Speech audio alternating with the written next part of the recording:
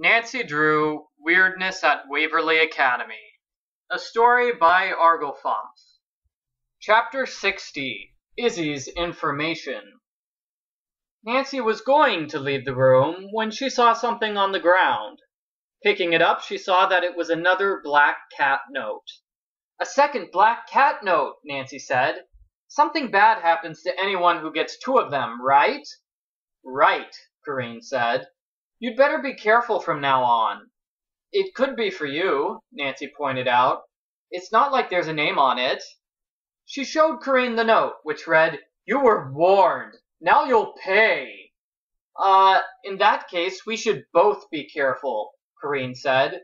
Come back with my food, okay? Sure, Nancy said. She left the room, then went downstairs to the snack shack. Getting snacks for the various students wasn't too interesting, but at least Nancy got to overhear some interesting gossip. Did you know Izzy once got her huge earrings stuck on a doorknob? How embarrassing! I heard that Mel hopes to work at Disneyland for a living.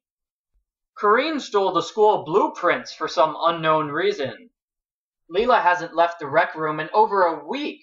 I'm really starting to get worried about her. Did you see Rachel and Izzy's rap battle last week? Rachel's rhyming skills are the best. You know that new girl, Becca something? The one from France? I heard that she talks to herself. That's it! Nancy shouted. Snack shop is closed! The various people in line complained, but Nancy closed up shop and went back to her room. She traded a sack of food for a flash drive containing Corinne's essay. Nancy went to the library next. She got on the school computer and uploaded Corinne's essay for Rachel's project. The essay was about Edgar Allan Poe's mysterious death. It seemed that Mr. Poe died while surrounded by malevolent forces, a corrupt doctor, an executor who was Poe's rival, and perhaps worst of all, Nurse Rita Hallowell. Knowing Miss Hallowell, she probably forced her patients to undergo a series of puzzles before they could check into the hospital. Izzy was in the library, as usual, so Nancy decided to talk to her. Hey, Izzy, she said. Hello, Becca, Izzy said, turning from her laptop to talk to Nancy. What's up? I've got a request, Nancy said. I need to know what the Blackwood Society's chant is. You're the leader, right? All right, who blabbed? Izzy asked. Uh, I'm not at liberty to say, Nancy said. But since you are the leader, you can tell me the chant. Why should I do it? Izzy asked, looking suspicious. Because we're friends and you're a really nice person? Nancy guessed. I'm the student body president, Izzy said. I rule this school, Becca.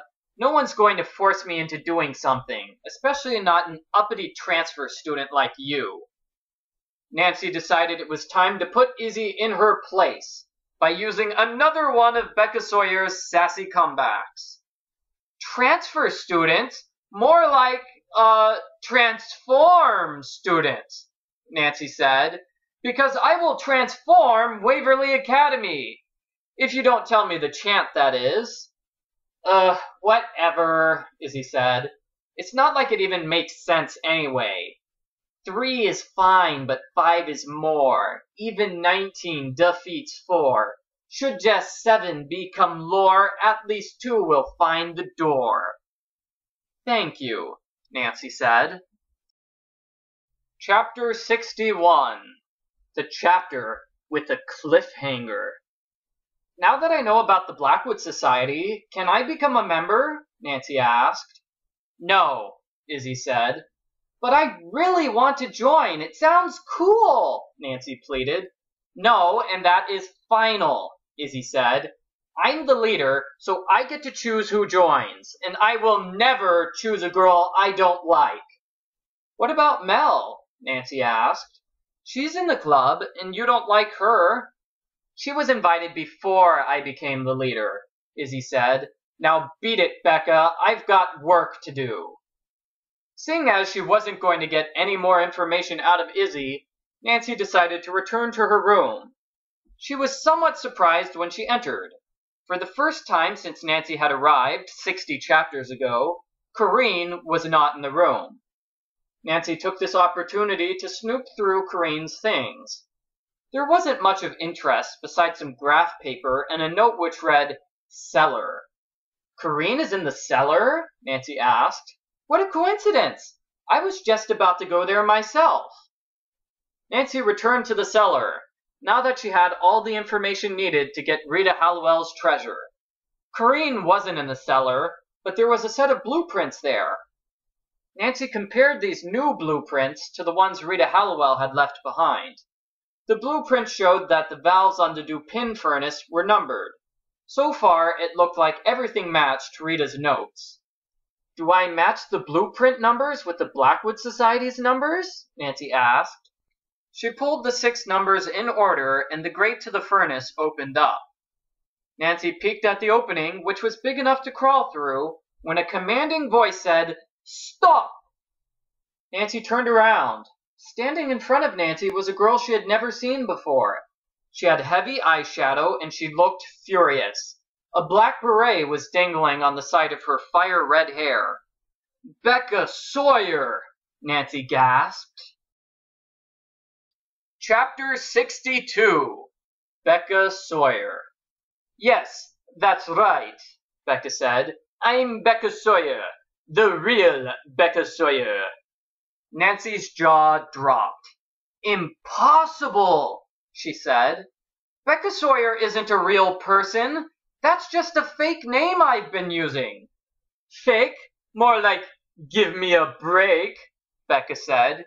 You didn't even bother to check if I existed before you stole my identity, did you? No, because you're not real, Nancy said. Rebecca Sawyer is just a dumb name I made up by putting together two names from Tom Sawyer. Tom Sawyer? More like call a lawyer, Becca said. Because I'm suing you for identity theft, Nancy Drew. I don't believe it, Nancy said, slumping back against the wall. As soon as I heard some bumbling American detective was pretending to be me, I came here from France as fast as I could. Becca said. Do you know what sort of damage you've done to my reputation?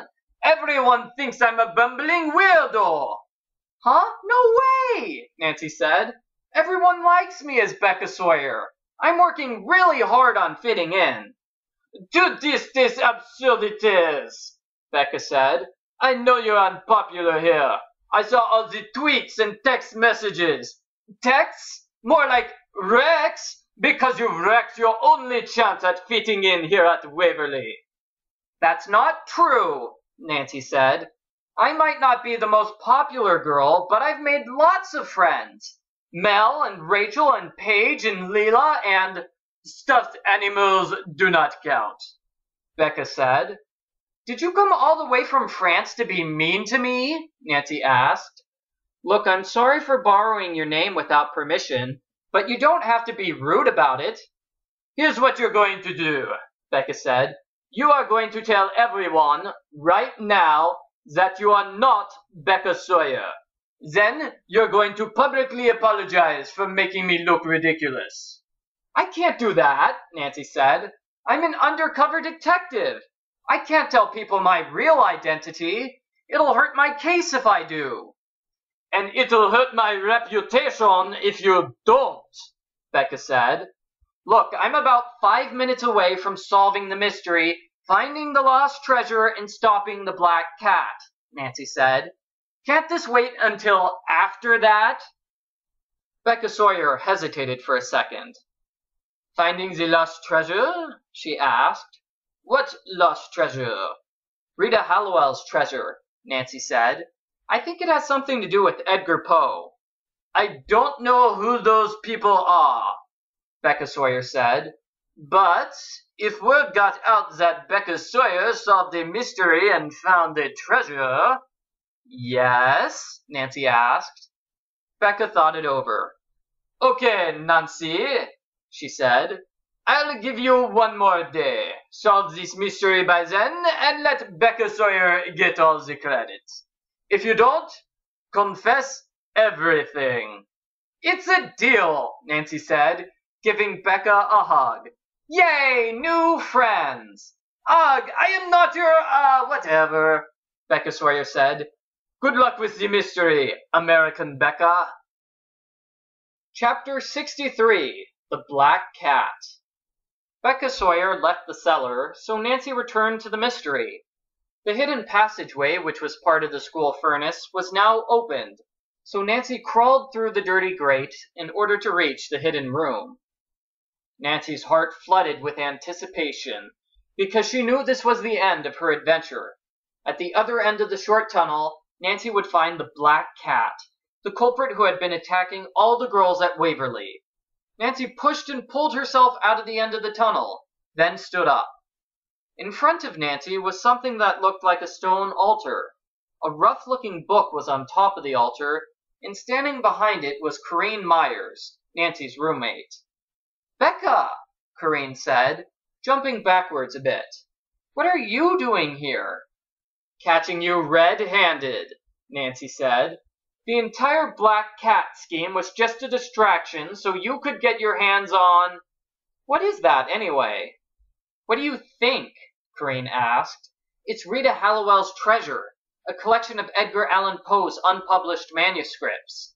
Before he died, he gave all his unfinished works to her, I've been looking for this for two months now. How did you know it was here? Nancy asked. I'm the one with Rita Hallowell's journal. She had a journal? Corinne asked. Yeah, it's filled with clues and puzzles that led me to this room, Nancy said. Corinne looked upset. Darn, she said. If I knew there was a journal from the beginning, that would have made things simpler. All I knew was that Rita Hallowell hid her treasure somewhere in the building. So you stole the blueprints and searched the dorm room by room, Nancy guessed. That's how you found out about Rachel's twin sister in the attic. Oh, you're good, Corinne said. You've been in school for three days, and in that time you found out what took me months to learn. There's a reason I'm a valedictorian candidate, Nancy said. It's not just because I'm an undercover detective. You're a detective? Corinne asked. Oops, Nancy said. They hired a detective to catch me? Corinne asked, sounding impressed. I didn't think the headmistress took me that seriously. But if that's true, Becca, I guess we have a standoff here. You can't let me get away, and I can't let you get away. It's over, Corinne, Nancy said. Just give up quietly. Too bad for you, I've got an ace up my sleeve, Corinne said. I've had plenty of time to examine this room and find the deadly trap that Rita left behind. The deadly trap? Nancy asked. Yoink! Corinne said as she grabbed the book, accidentally on purpose set off the tripstone, then escaped through the back entrance before it shut.